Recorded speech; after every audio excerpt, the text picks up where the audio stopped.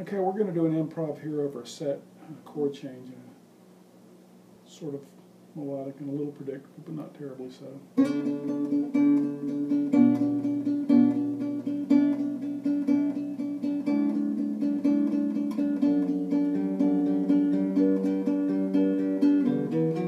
thank you